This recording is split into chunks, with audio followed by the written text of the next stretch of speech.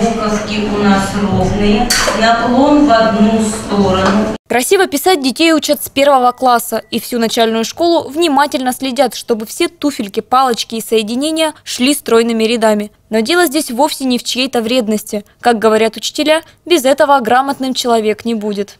Связь между каллиграфией и грамотностью письма, очевидно, очень важна, особенно в начальных классах. Если ребенок не каллиграфически пишет, это влияет, конечно, на видение орфограмм, то есть на грамотность. Поэтому мы большое внимание уделяем каллиграфическому почерку. Учительница рассказывает, в обучении детей письму мелочей не бывает. Здесь важно правильно держать ручку, расположить тетрадь и даже сесть. Рука должна входить между партой и туловищем. Головка прямо, тетрадь наклонена.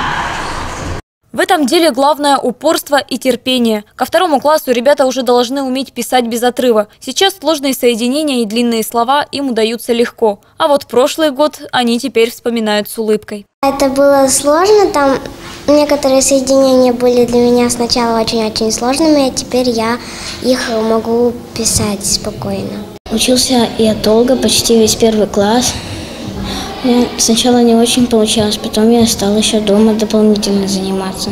По просписи мне очень хорошо, но потом все лучше и лучше. И во втором классе мне почему-то везде кажется, что это прописи, и я пишу как будто по точкам. Каллиграфия – это, несомненно, искусство красивого письма. Для кого-то она становится настоящим хобби. Александр Мерзляков говорит, раньше он увлекался дизайном, но шесть лет назад прочитал труд Германа Цапфа, выдающегося типографа и каллиграфа из Германии. Так появилось новое увлечение. Каллиграфия – это музыка. Она звучит, то есть она очень быстро меняется она динамична.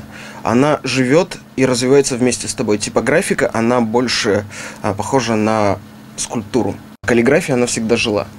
И э, она дает безграничный простор для фантазии, то есть я могу выражать свои э, сиюминутные ощущения при помощи э, пары взмахов руки.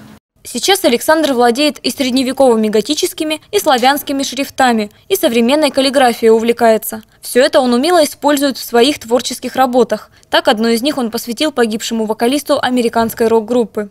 Позднеготический почерк фрактура, по большому счету.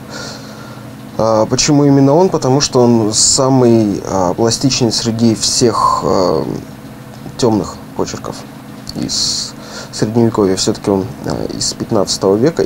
С помощью букв, уверяет Александр, можно расставлять акценты и даже вызывать определенные образы. А еще передавать эмоции и вообще уникальность человека. Жаль только, что сегодня мы так редко стали писать друг другу. Дарья Трофимова, Руслан Гаскаров, Индера ТВ.